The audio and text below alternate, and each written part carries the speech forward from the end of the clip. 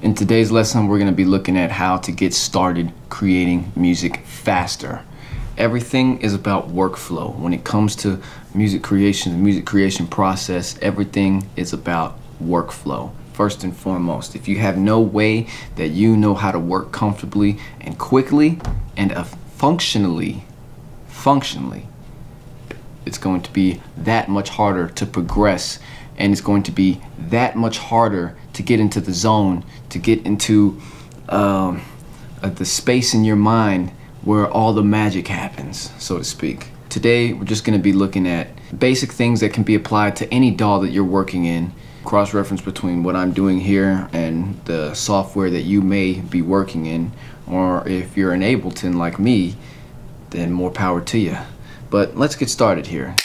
This form takes practice. So we're not going to be working with any sound today. This is just an overview of when I click the Ableton button, boom. When I click Ableton and Ableton opens up, this is what I see. This is my template here that I've created. That very simple, but it took so many years to, to get down. And any of my tracks, I know I'm gonna have drums, bass, effects, hard brass, vocals, maybe, chants, melodies, and synths. I know that that's going to be the case for 98% of every single thing that I make within Ableton Live. So I set it up as such. Everything is in groups, first and foremost. For you, is to figure out when I sit down to make a track, and this can be figured out just from looking at what you've done before. You say, in all my tracks I've had drums. All right, 100% everybody has that, you know.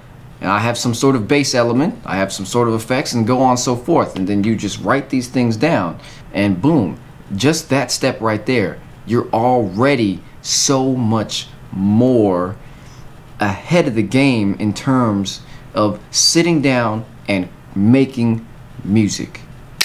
This form takes practice. We open up our drum section here. I have a bars bars prepared kit.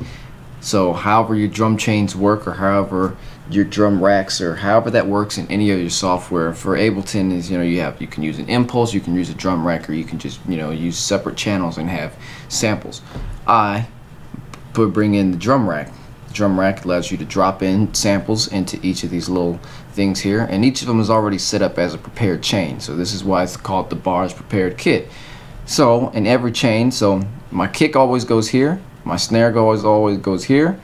Hi-hat always goes here and another hi-hat always goes here. It's like that for every single one and it's set up in such a way so it's ready. As you see hat EQ hat EQ everything's got a utility so I can modulate the uh, volume. On the snare I've got a snare EQ that's you know and a snare compressor if I may need it and a utility. Everything on here has a utility and a compressor utility, EQ, and a compressor. That's that's the way it is on every single chain. So when I drop something in, it is ready to be tweaked. It is and it's ready. It's that much more instead of you know drop drop a sample and then drop the effects in. Like that takes too long. I just want to go. I want to go because I have this idea. You don't want to lose the idea. This form takes practice. Side chain, it it is a huge element of everything. So why do I only have two channels in the drums to, in the drum uh, group to start off? Well, if you look at three audio here, it's got a EQ setup that I like to use for just about everything where it has 109 hertz cut so there's no lows interfering with my sub bass. And I have two sets of compressors on here because in my drum rack I have a kick that goes here usually and a kick that goes here usually. They're for two separate things. My one might, I might use on the build up one I might use on the drop on one compressor, I have it already ready. It's routed already to channel 1 here on the drums. It's already routed and so is the next compressor, but they each will go. So if I bring a sound in here, we could go to drum rack. So let's say we have this kick here. We have this kick. So we have this kick here and we can go ahead and see all the things are ready. So I can just click it and it's already ready to go. And then so forth here. I can go here and find wherever the other kick is and I can you know get it in there and it's already ready to go. So that is a huge time saver. So that's how that works there. And then once I have routed those compressors to the kicks that I'm trying to get to I will go ahead and I will duplicate that maybe like five times. So I just have all these little tracks ready to go. You know what I'm saying? And everything's already side chained to my kick This form takes practice. On the main master channel of each group, I have those same two compressors set up with different levels. On the bass, you've got, you know, the one compressor that goes to your main kick and the other one that goes to your secondary kick. And yeah, it's already set with the thresholds that I like and I can tweak them depending on the track, but these are things that usually work for me. So that's already set up. So all I have to do is go in there, click, boom, click, boom, and I'm done. And I'm ready to go. Click, boom, click, boom. It's the same thing on every single on every single master channel of each group. This form takes practice. So if we open up our bass channel here, this bass channel is for anything that is sub bass oriented. So pretty much anything that has low end, low end. You know what I'm saying? So we have things that are ready like samplers, you know, so I can drop in an 808 or drop in any sort of sound that I might want to use as some sort of bass. And when I drop something in, if I need to like duplicate it, I can just duplicate it and I've got one just blank MIDI track that I can usually throw in the Ableton Live instrument or something, you know, some VST or something like that, you know, like the hip hop sub bass, for instance. You open up our effects, it's just a bunch of different things because most of my effects are just, you know, samples that I find and if I need something, I can just open up a MIDI channel. So that's very basic. The hard brass is just one thing right now because, you know, and you can duplicate it. I do what I need to do here, and put the effects on there. It's really quick. It takes like 30 seconds, 15 seconds, and then I'm, I'm gone. And the chants is just very simple, just two channel because those are usually just, you know, whoo, ha, hey, you know, some simple stuff, samples most of the time. Go to your melodies. Now this is set up for, for making like trap music and hard style at the same time. So you know you've got your you've got things like if you're going to be working with different samples, you've got audio channels here. Then I've got two MIDI channels for VSTs or, or instruments or whatever. Then I've got melodies. If I'm, I'm working on a hard style project, I have this is the thing where I have my melodies. You know. So it's a group that's separate from everything, but inside of the same thing at the same time, if that makes sense. You know, and on top it's got a punch and parallel just to keep the melody you know just a slight compression on it. And then it's got an overall thing so I can control the specific EQ within this group itself. You've seen I've talked about this before. I've got S1 D1 and D2 inside the synths you know which sounds for. Screech 1 drop 1 drop 2 and drop 1 the EQ is right here at 86 hertz. That means that nothing is going to be interfering with my sub bass most of the time for most of these sounds. And then in D2 it's just got you know a 20 hertz cut.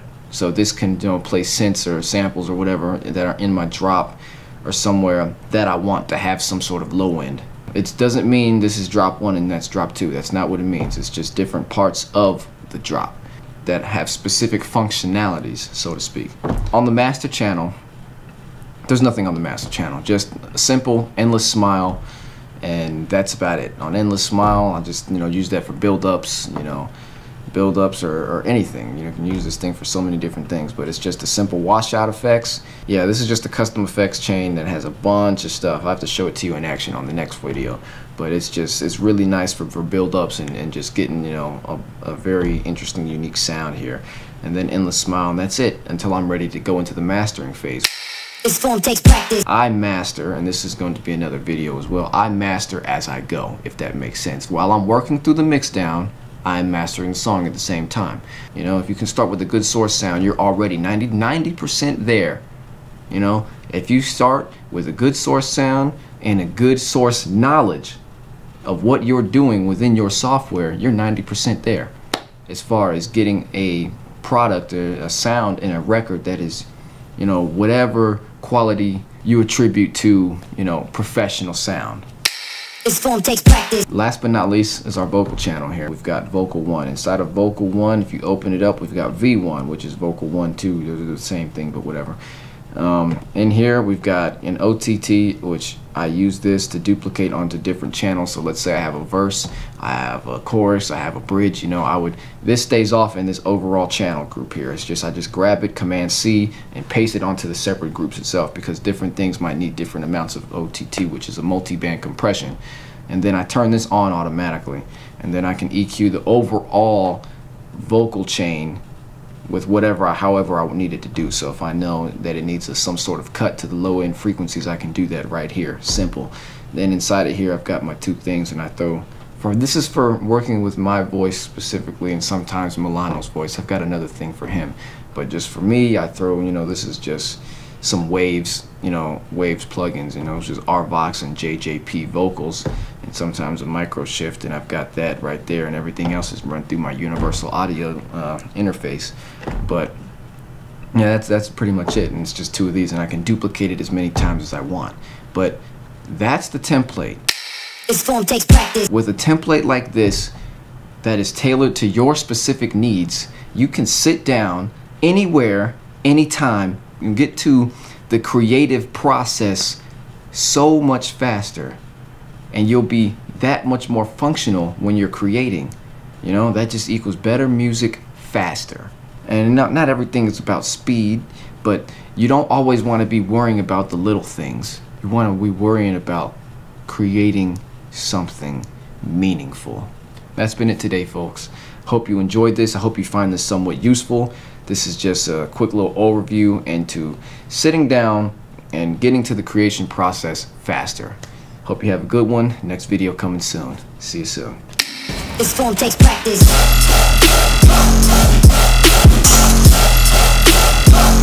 ugly than a